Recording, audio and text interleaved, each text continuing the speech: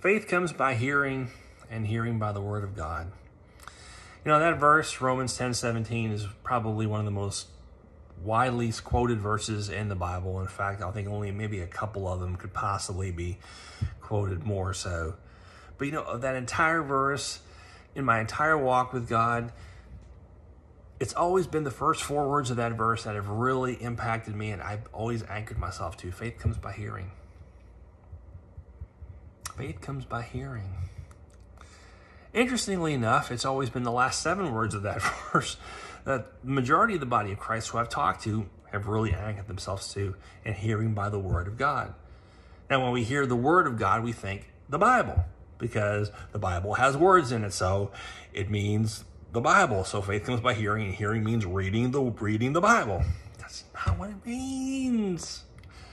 It's not what it means. You know, if, if I'm not sure of something, if it's in my heart to say something, I'll believe it, or I'll say I believe, or it's my heart, it's my hope. But if I know something's not true, doggone it, I want to say that's not true. Because the Bible mentions the word in the Bible. In the beginning was the Word, and the Word was with God, and the Word was God. The Bible also says that the Word became flesh. Well, obviously, the Bible could not become flesh if the Bible was still being written, correct? The Word is referring to Jesus.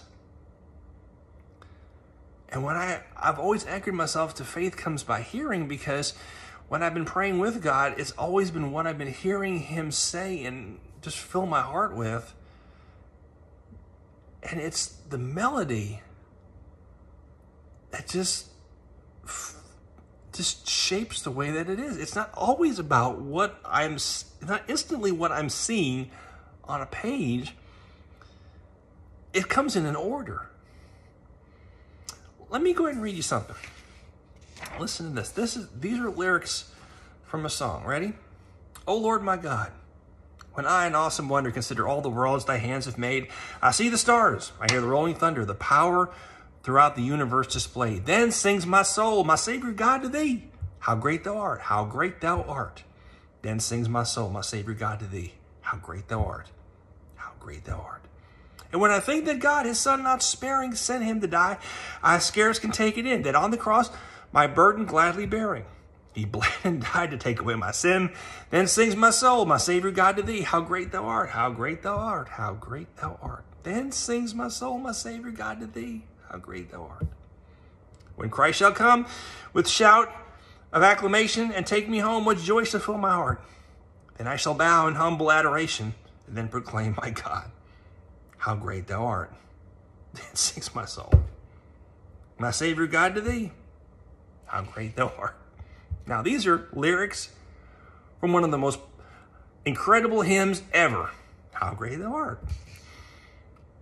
But they didn't really have an impact unless you hear the melody with the song, did they? Me just reading it, me just processing it on the page, me just looking at it here on here, hear the lyrics of the song. Okay, all I got to do is just know these words. And that's it. No. It was hearing the song. Have you ever heard the hymn? Have you ever heard the hymn? Of course you have. Come on. Everyone's heard that. Hope you've heard a great version of it. There's some amazing ones out there.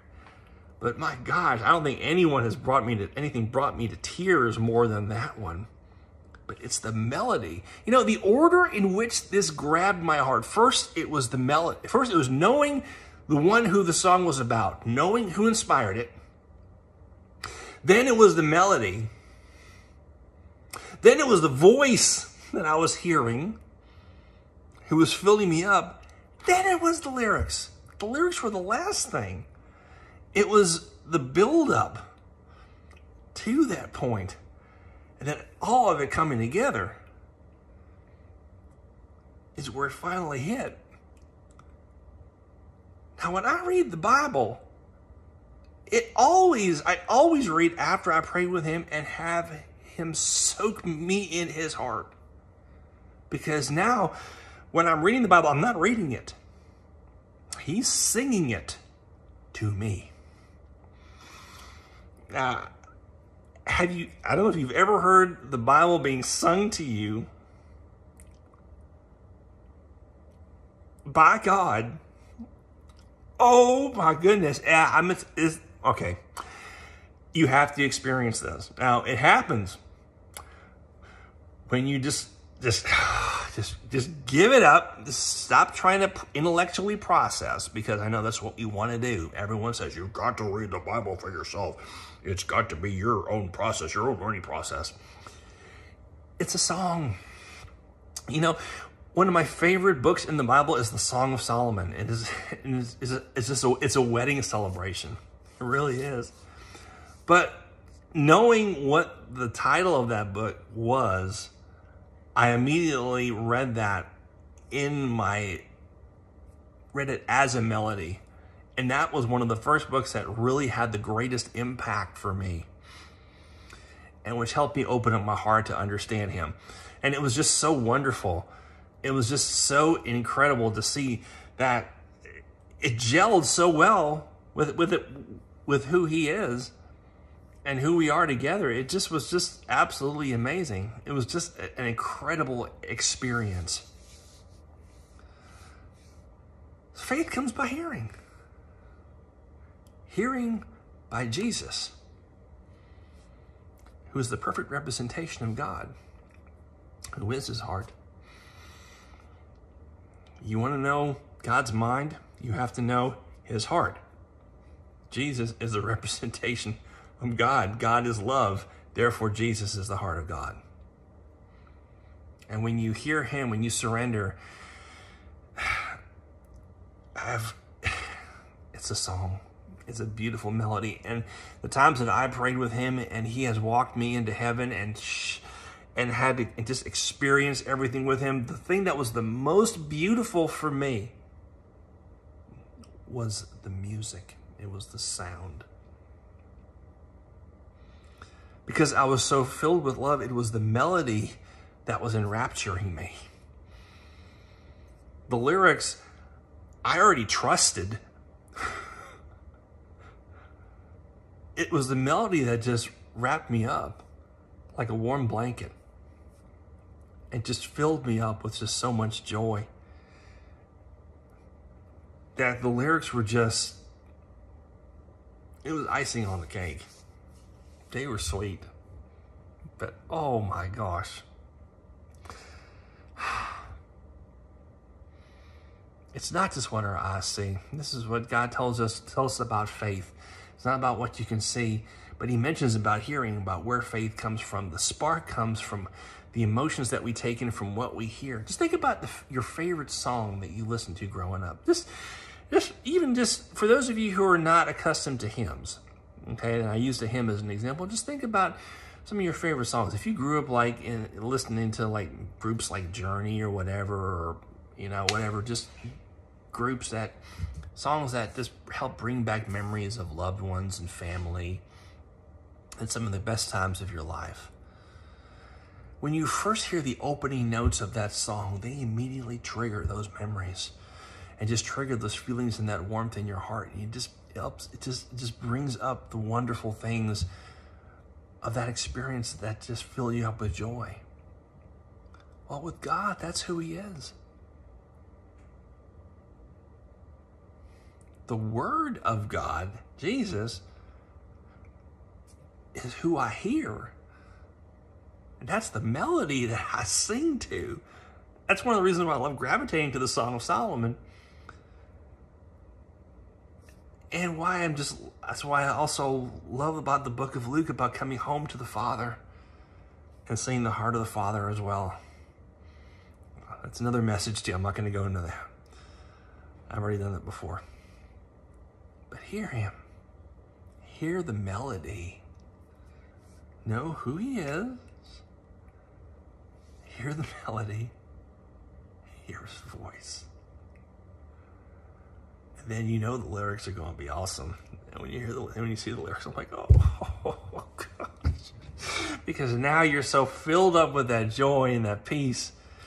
The lyrics are like, oh man, it's just so cool. You know, if I had tried to look at the lyrics first before I did anything else, a lot of times it would be it would set me on a completely different emotional path and a completely different set of expectations and probably on a different path to even want to even want to experience that with him.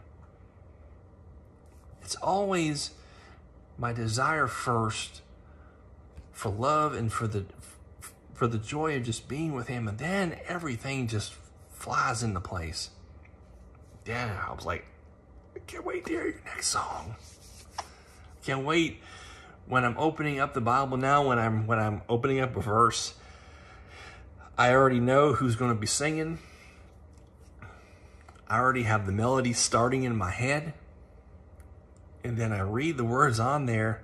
The melody is playing and the lyrics are just going along with the spiritual melody. That's the voice of Jesus. That's the voice of love. That's the voice of grace. That's the voice of experiencing the fullness in Him. Can you imagine, once we leave this earth, being able to do that fullness, to full without any kind of distractions here, physical distractions that could possibly stop you? Right now, I'm recording a message. Something could happen where I could suddenly stop this message right now and have to do something else. But in heaven, there's not going to be anything like that.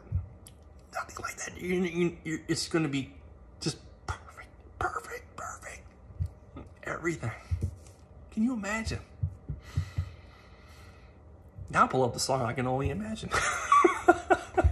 and think about those lyrics.